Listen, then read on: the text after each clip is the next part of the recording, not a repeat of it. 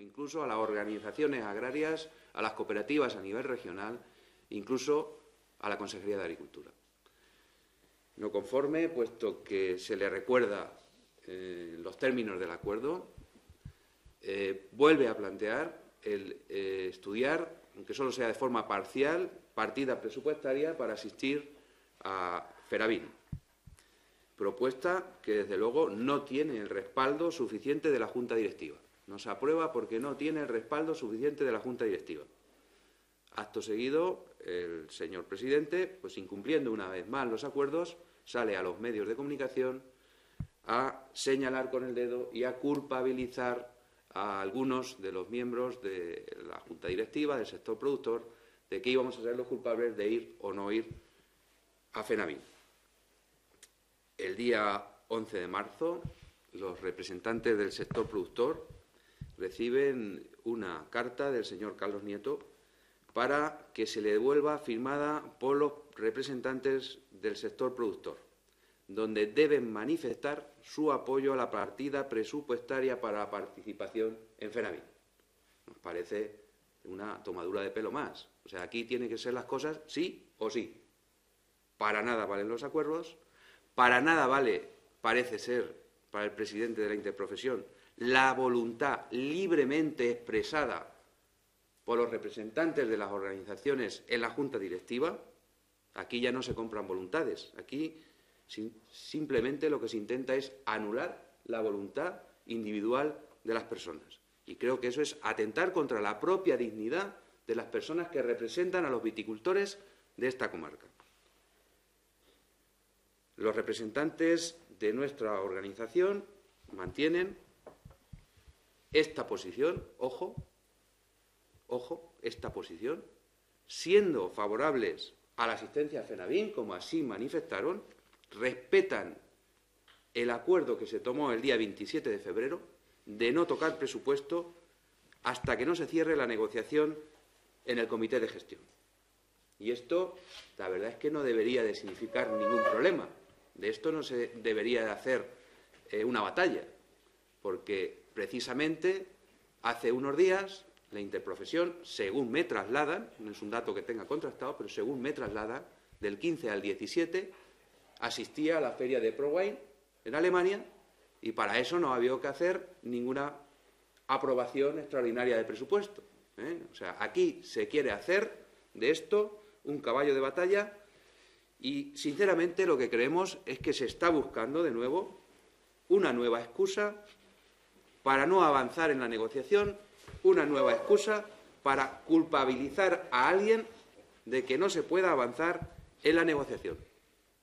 Desde luego, desde la Unión de Pequeños Agricultores y Ganaderos de Castilla-La Mancha, no vamos a permitir, no vamos a permitir que se acuse a, a ningún viticultor, a ningún viticultor en particular, y que además se intente criminalizar cuando solo lo que hacen es discrepar con el jefe del cortijo. Desde luego, la voluntad expresada por nuestra organización en la Junta Directiva no va a cambiar, por mucho que se insista y por mucho que se nos quiera señalar con el dedo. Recordar que esta organización tiene un 30% de representación en la rama del sector productor. Es decir, cualquier decisión necesita obligatoriamente la aprobación de esta organización. Los acuerdos deben ser tomados con una amplia mayoría del 75% de la rama del sector productor.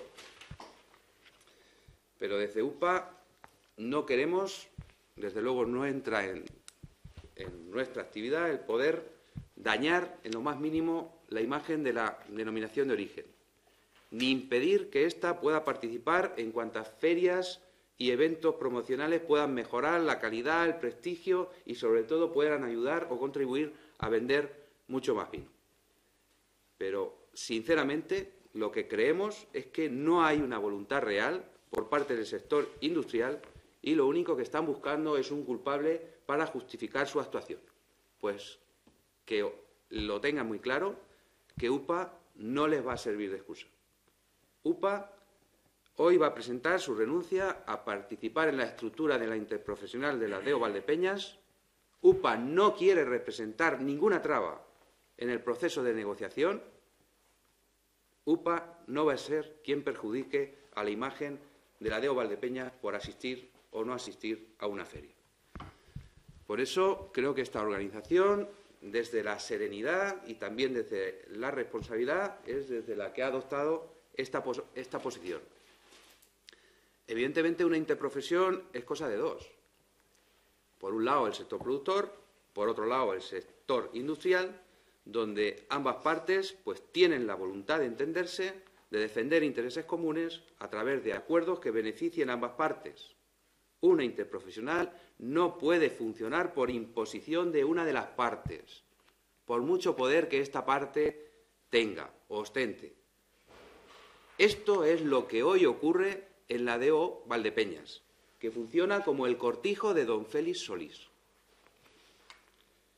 Recordar, por si a alguno se le ha olvidado, cuáles son los puntos que desde el conjunto del sector productor queremos negociar y poner encima de la mesa para modificar los aspectos, algunos que eh, atañen desde luego al pliego de condiciones, para recordarlo. Primero, eliminar la figura del tinto tradicional, evitando que salga al mercado con la etiqueta de vino tinto un producto que se ha elaborado con un 50% de uvas blancas. Para la campaña de vendimia, que se realicen descargas de uva diferenciadas para mesa y para deo, en descargaderos diferentes o bien con días de vendimia distintos. Que se proceda a la contratación de vedores que aseguren a la interprofesional como órgano de gestión un control real y eficaz referente a rendimiento, calidades, existencia y controles en campo y en bodega. Que se elimine la figura dependiente de actitud, sometiendo cada añada en su totalidad a una calificación y descalificación por lotes en un periodo de tiempo determinado, con la supervisión de estos veedores. Que en los vinos varietales, en los tintos, donde está permitido que un 15% sea de otra variedad, pues que esa variedad sea obligatoriamente tinto. Y por último, que se localicen y que se identifiquen el vino tradicional que a día de hoy figuran en existencias. Estos son los puntos básicos de la negociación. Y por mi parte nada más, agradecer a los compañeros Antonio, Javier, que con todas las dificultades han estado defendiendo los intereses de los viticultores de la comarca a costa de sacrificio, de trabajo, de dinero, de esfuerzo, de quitarle y robarle tiempo a su familia y a costa incluso de que sean señalados con el dedo, que les cierren la puerta de las bodegas para entregar su uva o para quien, la uva de para quien trabajan y, desde luego, vaya el reconocimiento de nuestra organización al trabajo que habéis venido haciendo durante este tiempo. Y muchísimas gracias. A mí me gustaría saber en qué situación se queda ahora mismo la denominación de origen, es decir, ¿se reestructura? ¿Quedaría con menor peso el, el sector productor? Esa ya no es una decisión que nos toca tomar a nosotros, ¿no? Nosotros ahora vamos a presentar el escrito esta misma mañana en la interprofesión. Mm, es una situación un poco compleja, la verdad es que, eh, bueno, pues lamentablemente hemos tenido que tomar esta decisión y ya lo que ocurra ahí dentro, evidentemente, no está ya dentro de nuestro parecer. ¿eh? Lo que sí que dejamos es carta libre para que la interprofesión, hoy que tiene junta directiva esta tarde, pues tome las decisiones que tengan que tomar. Yo quería hacer en relación con, con la de esta tarde, era para aprobar lo de Fenavina, había un plazo y había que comunicarlo, pero bueno, eso no es. Eh, yo mm, eh, pregunto, me parece, mm, no sé cómo se puede defender los intereses de los viticultores de la DEO Valdepeñas fuera del empleo profesional. Mm, me parece que se llega mejor dentro de un foro en el que realmente se debaten esos problemas, eso por un lado, y por otro, me parece incoherente que se diga que no se quiere hablar de presupuestos, que son independientemente, no voy a optar ni por uno ni por otro, pero sí que es verdad que tampoco es lógico y figura en acta que se pida dinero por asistir a las comisiones. como dietas. Y así figura en el acto, o sea, es algo que no me estoy inventando, incluso su vocal se lo puede ratificar, los dos. Y, también, bueno, pues un poco esa postura que yo creo que se ha personalizado ya, no entre los agricultores, sino entre industriales y, y productores. No en uno concreto, pero sí por los que han llevado más o menos la y bueno, y tampoco son muchas veces ni otros formas de, actuar. Vamos a ver, Elisa, no sé si me acuerdo de todas las preguntas que me has hecho, voy a intentar contestarte a, a algunas, ¿no? ¿Cómo se puede defender dentro o fuera? Eh, cuando lo único que haces es estar de convida de piedra, de mera comparsa, porque es como estamos desarrollando nuestras funciones últimamente en la ADO, pues sinceramente lo mismo hacemos dentro que fuera. ¿eh? Creo que desde fuera también podemos denunciar pues, las tropelías y, bueno, y lo que creamos conveniente ¿no? en las mismas circunstancias. Eh, en cuanto a presupuestos, no recuerdo bien tu pregunta. Sí, vamos a ver, en, en la última reunión. Eh, pero bueno, por, por, cerrar un poco, si ya no es, si ya no es, si, si, ya no es, ya no. Sin embargo, sí que se pidan dietas para asistir a las comisiones. Eh, vamos a ver, ya, eh, ya no es cuestión ni de presupuestos, ni de FENAVIN o no FENAVIN, ¿no? Porque al final esto sabemos que aquí lo que se pretende pues es al final ir a su terreno eh, aprobaremos parcialmente los presupuestos, después si te he visto no me acuerdo y llegaremos a vendimia sin abordar los temas que nos importan al sector producto. Esa es nuestra percepción. Eh, yo eh, he dicho que quiero agradecer a los compañeros su trabajo y su aporte económico. O sea, los compañeros han estado asistiendo a todas las reuniones, a todas, a la Junta Directiva, a las comisiones, a, a reuniones que se han celebrado en Ciudad Real, en todos sitios, a costa de su bolsillo. O sea, los desplazamientos los han pagado ellos y han perdido el día, ha ido a costa de su explotación. Al día de hoy no han recibido ni un solo duro por asistencia, ni un solo euro, perdón, por asistencia a ninguna de estas reuniones. Aunque parezca mentira, ¿no? Hay otras denominaciones de origen, otras interprofesiones, pues que tienen asignada una dieta por asistencia, por perder el día, tal. Aquí no hay asignación ninguna. Y lo han venido haciendo a costa de sus bolsillos, sin en ningún momento poner ninguna pega evidentemente ha llegado, ha llegado ahora en la última reunión y hay un planteamiento de un miembro de, los, productores que dice que, bueno, que evidentemente que no traerse por lo menos una dieta de asistencia, ¿eh? Eh, independientemente eh, de que eso se aborde cuando se aprueben los presupuestos o no. Tampoco si se llevan, no sé los años que llevan, cuatro o cinco años o siete años sin cobrar, pues tampoco creo que sea un tema importante. Yo creo que estos son minucias. No, no, perdón, es que no me he debido yo de, explicar bien, de expresar yo no cuestiono que se pidan unas dietas, o sea, Dios me libre, lo que no, lo que sí no me parece apropiado es que en esa reunión se niegue uno y se proponga bueno. es, es, esa circunstancia.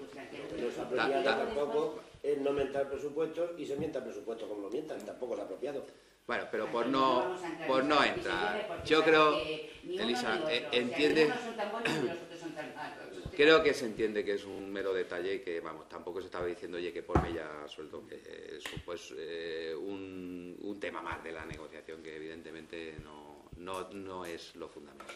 Y, otra cosa que se ha dicho, una de las reivindicaciones para continuar, después de, lo que habéis comentado de UPA y de, y de ASAC, la, voluntad de, salir fuera, era precisamente un comité, crear un foro de discusión dentro de la DEO. No estamos hablando ni de mesa de Valdetoñas ni nada, que eso es otro, otro cantar otra historia. Entonces me gustaría un poco mm, que fuerais más explícitos a la hora de decir qué es lo que os ha llevado después de atender esa reivindicación, forzada o no, eso ya es ir tensando la cuerda, qué os ha llevado a abandonarla después de haber em, constituido esa comisión. Que fuerais algo más explícitos. Pues yo creo que he sido muy explícito, ¿no? Eh, hay muchos detonantes, pero eh, el primero es que eh, desde el primer día ya se ha incumplido lo que se acordó en esa comisión hay una voluntad manifiesta de incumplir lo que se acuerda. ¿eh? Y, también entendemos que hay una, una voluntad manifiesta de intentar culpabilizar una parte del sector. Y por ahí no vamos a pasar. ¿eh? Por ahí no vamos a pasar. Entonces, para no generar problemas, pues ahí está esa comisión que siga trabajando. La UPA no va a ser un problema. ¿Vale? No, no. Esta mañana presentamos la renuncia. Evidentemente no vamos a asistir a ninguna junta de gobierno, ni, ni junta directiva, ni ninguna asamblea general a partir de hoy. ¿Habéis mostrado esta, esta opinión, se lo habéis dicho a, a la dirección del Consejo, a la presidencia? Yo, como secretario general, eh, me he dirigido a las personas que hemos estado en toda esta batalla y que creo que hemos hecho una buena labor. Eh, hay que reconocerlo eh, de forma conjunta, es al resto de organizaciones agrarias y cooperativas. Yo le he trasladado la, la, posición que nuestra organización iba a tomar hoy a Florencio, a Saja, a Ángel, que es el coordinador de COA a nivel regional, y a José Luis Rojas, que es el gerente de cooperativas agroalimentarias. ¿eh? Les he trasladado la que es nuestra posición y, bueno, pues lo, han entendido, lo han entendido. Ese 30% de representación entiendo mm, que se reparte ahora entre los, según los Es un tema que desconozco, de verdad no, no, no, no he entrado a analizarlo cómo quedaría eso. ¿Cuál es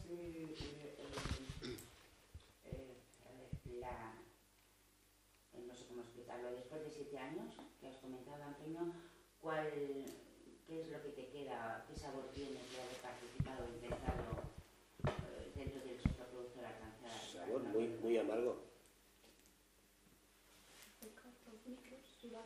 No, no, no, no. no. Ah, bueno, pues muchas gracias. Yo creo que no se trata de insistir. Hemos intentado trasladaros lo que el, el pensamiento de nuestra organización. ¿Vale? Parece